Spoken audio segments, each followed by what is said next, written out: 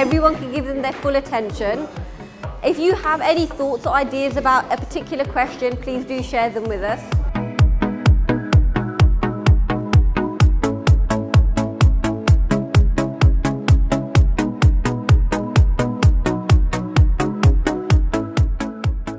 So my name is Rabia Ahmed and I am a teaching fellow in pharmacy practice.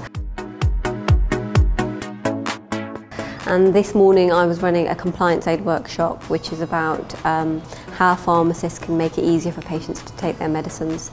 And we were really running through all the different types of um, products that are available, how they should use them, why they should use them, scaring them a little bit about their professional judgment, um, and um, really getting them to get quite hands-on with the, with the devices because there's just so many. That's what we were doing this morning. Yeah, it's good. Uh, the lectures was great. If you ever need any help, uh, they're always willing to help. Uh, the course is kind of split up into different types of teaching, so you're not always in lectures. You have workshops, practicals, uh, Q&A sessions, uh, and workshops just like this.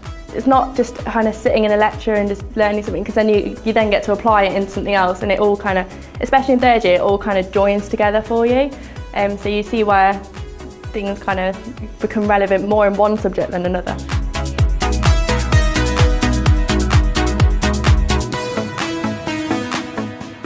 They spend quite a lot of time doing placements and visits. So in the first year or the second year, they go to um, a community pharmacy chain, I think it's Lloyd's, and they spend a week there on placement and then they go on visits to hospitals during the course. And there's quite a heavy emphasis on um, placements over the summer break, which they arrange themselves. And of course, the university and our programme supports um, them to get onto, so hospital, industry and community placements. We get emailed quite a lot and um, we have like a like personal tutors which help us um, like, they talk to us about placements and then we do like work placements within our uni university so it might be like a Wednesday or um, where we actually get they like put you into groups and get sent send you to either community and we've managed to do a hospital one as well so I went to Birmingham Children's Hospital which I loved.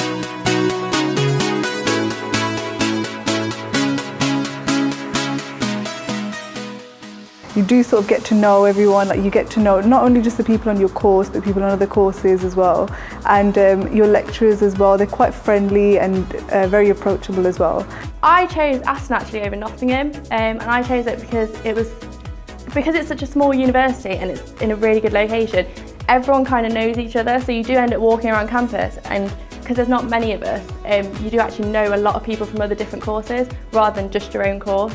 Um, so I love that and just fact that like, well, it's got it's had loads of developments now. So we've got a new library, we've got a new like layout of a park, there's new accommodation. It's turning into a really beautiful campus. The thing I like about the university is that campus is all in one place. So considering like com comparing to other universities, uh, they have campuses all across the, the, the city, which puts a lot of extra time for students to travel. Um, I like that because the campus is in the, in the middle of the city, uh, I have access to all the essentials and I have access to all the social areas of the city and I don't really need to spend tr time traveling.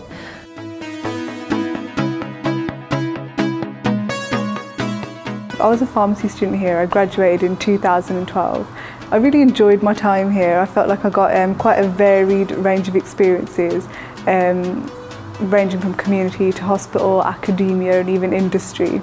Um, like I said, I really did enjoy my time here, so much so that um, I've decided to come back and do a PhD here. And I do feel like Aston prepared me for that and um, has helped me sort of along in this journey to get to where I want to go.